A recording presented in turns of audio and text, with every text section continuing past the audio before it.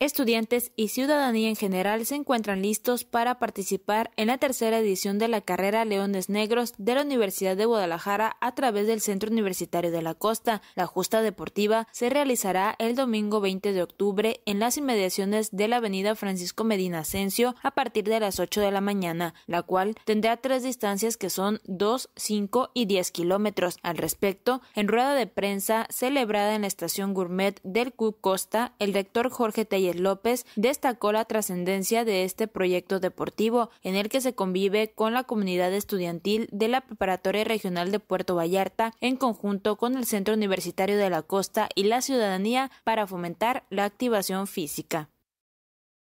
La carrera de los Leones Negros en su tercera edición habla ya de un proyecto exitoso no solamente para la Universidad de Guadalajara, que se congratula de que sea un proyecto común regional entre la educación media superior representada por nuestra preparatoria regional y aquí su directora, sino también el centro universitario.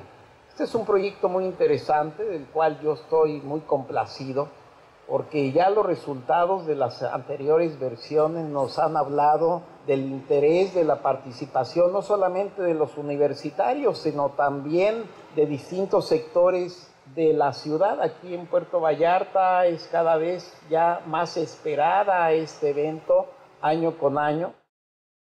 Asimismo, el rector del CUCOSTA, Telles López, adelantó que en esa tercera edición podrán participar algunos jugadores del Club Deportivo Leones Negros, esto para dar a conocer el evento y dar más realce al mismo que se consolide aún más para seguir realizando próximas ediciones. Incluso mencionó que la intención será que cada año se sumen más personas a esta carrera, donde ya se esperan en este 2019 que participen más de 3.000 personas entre personas de Puerto Vallarta, ciudadanos de la región y además de la zona metropolitana de Guadalajara.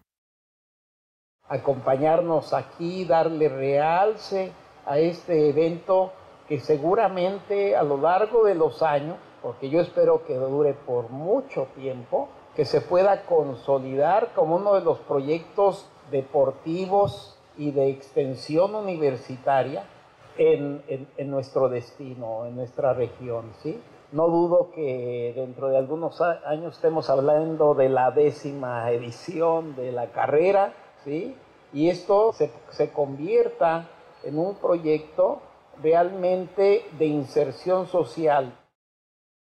Cabe mencionar que las inscripciones ya se encuentran abiertas y los interesados pueden acudir a la Coordinación de Extensión en el CUC Costa o al Departamento de la Secretaría en la Preparatoria Regional de Puerto Vallarta. Al registrarse para participar en esta carrera, recibirán un kit que incluye una playera y una medalla conmemorativa. Para señal informativa desde Puerto Vallarta, Karina Elizondo.